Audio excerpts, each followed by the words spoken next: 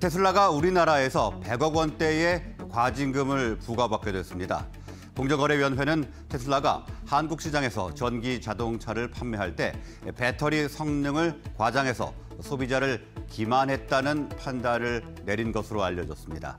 현재 테슬라 코리아에 100억 원대 과징금을 부과하는 절차에 들어간 것으로 알려졌습니다. 음, 관계 부처와 업계에 따르면 공정위는 테슬라 코리아가 표시 광고법을 위반했다는 혐의에 대해 1년 6개월가량의 조사를 마치고 최근 테슬라 코리아에 심사 보고서를 발송했습니다. 날씨가 추울 때 배터리 성능이 떨어져 전기차 주행 거리가 40% 가까이 줄어든다는 사실을 소비자들에게 제대로 알리지 않았다는 것이 공정위의 결론입니다. 표시 광고법 위반 과징금은 관련 매출의 최대 2%인데 지난해 테슬라 코리아의 매출은 1조 1천억 원입니다. 다음은 오늘의 주요 뉴스 보시겠습니다.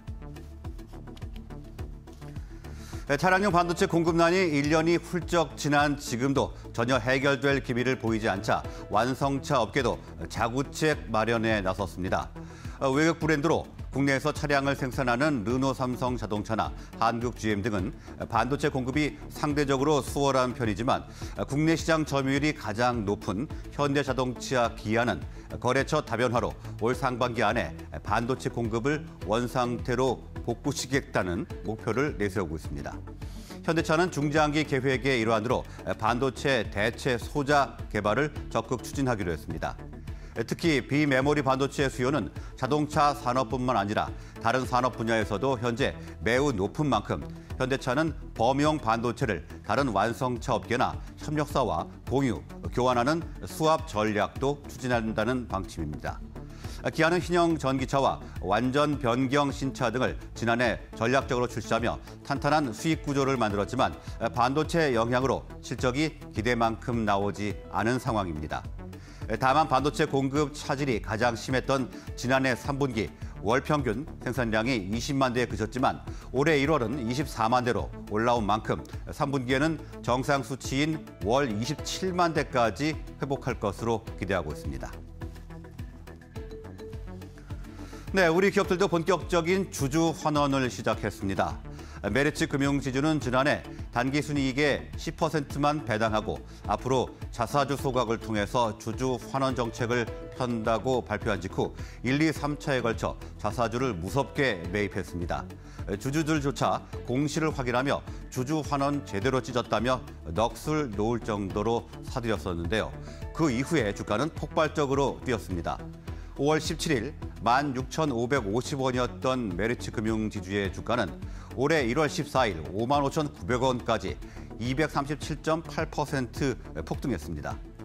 올해는 메리츠 금융그룹 3인방과 SK텔레콤에 이어서 KB금융지주가 1,500억 원, 미래에셋증권이 1,470억 원 규모의 자사주 소각을 결정했고 이어 카카오가 3천억 원의 자사주 소각을 알렸습니다.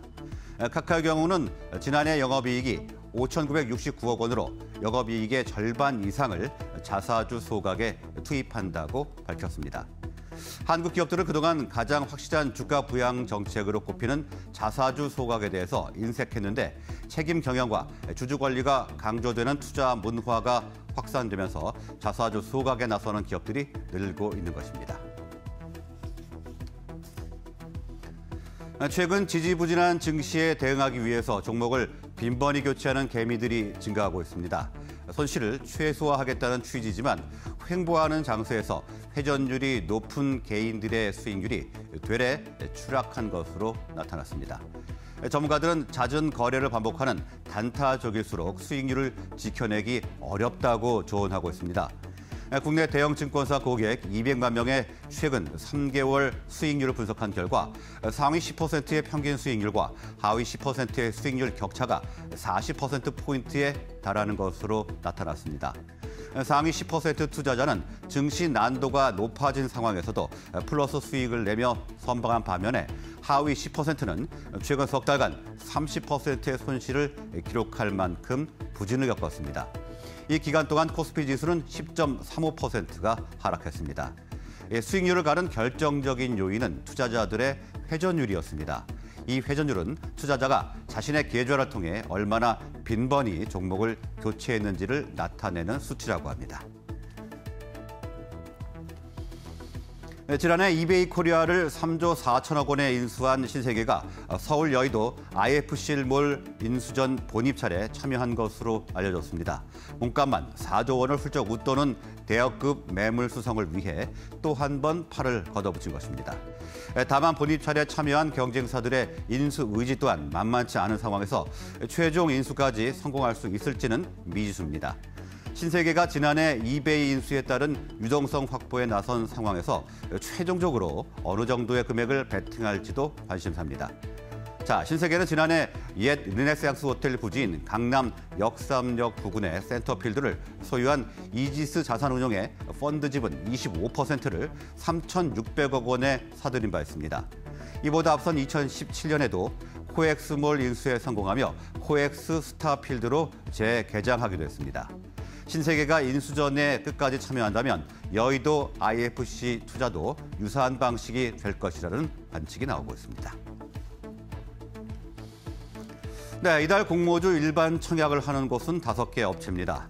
어제 퓨런티어가 공모주 청약을 시작했고 오늘은 VC와 스톤브리지 벤처스, 하나금융스팩 21호가 공모주 일반 청약에 착수합니다.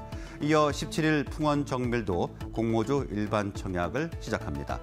LG 에너지, 에너지 솔루션처럼 역대급 흥행이 될지 성공이 주목되는 가운데 올해 주식시장의 불확실성, 미국 연방준비제도의 금리 인상 부담 등이 IFO, IPO 시장을 얼어붙게 하고 있어 이달 공모 청약에 나서는 기업들의 흥행은 쉽지 않을 것이라는 분석도 있습니다. 음, 최근 건설사인 현대 엔지니어링 상장철에도 공모주 시장에 악재로 작용을 했습니다. 현재 엔지, 현대 엔지니어링은 지난달 말 수요 예측에서 경쟁률이 50대 1에도 미치지 못해 상장 계획을 철회한 바 있습니다.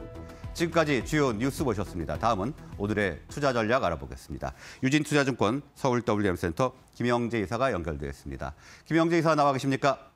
네, 안녕하십니까? 네, 안녕하십니까? 자, 오늘 어떤 이슈 주목하고 계신가요? 네, 오늘 말씀드릴 이슈는 최근 가장 주목받고 있는 이 오프닝 종목 중에서도 우선순위를 고려한다면 안정적인 포트폴리오를 구축할 수 있다는 내용입니다. 어, 최근 전체 시장은 연준의 조기 강력, 조기 강력한 긴축 우려감과 아, 러시아의 우크라이나 침공에 따른 인플레이션 우려감 등에 지속적으로 반응하면서 좀처럼 반등에 성공하지 못하고 있습니다. 이런 상황에서 2년여를 끌고 온 코로나19 팬데믹 상황이 반전될 조짐을 보이자 with 코로나 reopening 관련 종목들에 대한 관심이 집중되고 있습니다. 어, 어, 그렇다면 어떠한 기준으로 reopening 종목을 선별하는지가 중요한데 선별 기준은 역시 실적과 valuation 수준이라는 가장 기본적인 틀을 어, 이용하셔야 하겠습니다. 그런데 reopening 종목들은 어, 코로나19 팬데믹 상황에서 극단적인 피해를 본 종목들이 많아 적자가 지속되면서 실적에 근거한 valuation을 줄 수 없는 종목들이 있습니다. 아, 따라서 현재 적자라면 업종 내에서 가장 빠르게 실적이 회복될 수 있는 종목을 선별해 아, 투자 포인트를 어, 구체화시킬 필요가 있습니다. 아, 또한 valuation에 근거해 저평가 종목을 발굴하려고 해도 reopening 종목은 아직도 고valuation 수준에서 거래되는 종목이 많아서 결국 이러한 종목들 중에서 어, 최근 실적 개선이 확실히 진행되는 종목을 선별해서 투자 포인트를 구체화시켜야 하겠습니다. 어, 마지막으로 그 코로나19 시대에도 실적 개선이 나타나면서 최고 실적을 기록 중이지만 수급상 또는 어떠한 이유에 valuation 저평가 지속 중인 종목을 선별해 구체적인 투자 포인트를 찾는 것도 하나의 방법이 되겠습니다. 어, 하나 더 덧붙인다면 이러한 종목들 중에서 기관 및 외국인의 순매수가 최근 한 달 이상 지속적으로 유입되는 종목으로 한정해, 한정해서 선별하신다면 좀 더 나은 결과를 얻으실 수 있을 것입니다. 네, reopening 중에서도 어, 선별적 투자를 해야 한다 이렇게 말씀을 해주셨는데 그럼 어떤 종목 주목하면 좀 좋을까요? 네, 어, 제가 말씀드릴 종목은 첫 번째는 강원랜드입니다. 강원랜드의 경우 지난해 역시 적자를 지속했지만 적자 폭은 크게 축소되었고 올해는 컨센서스상 1분기부터 흑자 전환에 성공할 것으로 기대되고 있습니다. 아, 또 하나 긍정적인 부분은 정부의 규제 완화로 영업시간 확대, 영업 면적 확장이 가능해져서 영업시간이 정상화될 경우에는 예상을 뛰어넘는 이익 개선도 가능하다는 점입니다. 정부 규제는 과거 채용 배리 이후 강화되었던 것인데 테이블 개수 제한 어, 그리고 영업시간 단축을 명령한 바 있지만 2020년 코로나19로 인해 영업이 어려워지자 정부는 이 두 가지를 규제를 풀었고 최- 최근 12월 30일 근 10년 만에 카지노 사업장 확장이 허가되었습니다. 아, 따라서 강원랜드는 2020년 실적을 최바닥으로 지난해 적세폭을 줄였고 올해는 흑자 전환 가능성이 예, 높고 그리고 내년부터는 실적 고성장이 기대되는 종목으로 변신할 가능성이 매우 높다고 할 수 있겠습니다. 다른 카지노 종목은 외국인 전용이라는 점에서 실적 회복까지 시일이 소요될 가능성이 있지만 강원랜드의 경우 내국인을 상대한다는 점에서 업종 내 가장 빠른 실적 회복을 기대할 수 있다는 점도 주가의 긍정적인 요인이라고 판단하고 있습니다. 아, 두 번째는 하이트 진로입니다. 하이트 진로는 지난 시간에도 소개해드린 종목인데 기관 및 외국인 수급상이 매우 양호하고 주류 가격 인상 시 올해 이익이 크게 증가될 수 있습니다. 올해 주류 시장 전망은 기저 효과와 booster shot 접종 확대에 기인해 아, 총수요의 점진적 회복이 전망되는데 만일 with 코로나가 조기에 현실화된다면 소주 시장 점유율 60% 이상을 어, 점유하고 있는 하이트 진로에 긍정적인 영향이 기대되고 있습니다. 아, 그리고 세 번째 종목은 어, 이 신세계 인터내셔널인데요. 아, 작년 최고 실적을 기록했음에도 불구하고 주가가 2021년 연초 대비 하락한 상태한 상태로 있는 reopening 관련주입니다. 아, 신세계 인터내셔널은 의류와 화장품을 취급하고 있는데 자체 브랜드도 있지만 주로 해외 명품을 수입 유통 판매하고 있습니다. 작년 실적이 사상 최고였는데 특히 해 4분기에는 해외 패션, 국내 패션, 리빙 등 패션 부분의 모든 카테고리가 고르게 성장하는 것이 확인되었고 이러한 안정적인 포트폴리오를 감안한다면 올해 역시 무난한 이익 성장이 예상되고 어, 만일 with 코로나가 조기 실시된다면 어, 현재 부진한 화장품 부분에서도 어, 실적 성장이 나타날 것으로 어, 보고 있습니다. 특히 주목하고 있는 점은 주가 valuation 수준인데요.